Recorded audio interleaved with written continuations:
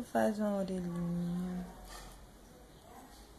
Você segura na base, aí dá uma voltinha em volta da orelhinha, passa por dentro e você já passa e já traz a outra orelhinha. Aí depois você só vai arrumando o tamanho que você quer, depois que você puxar.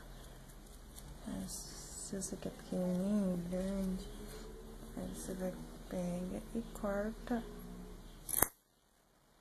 tamanho.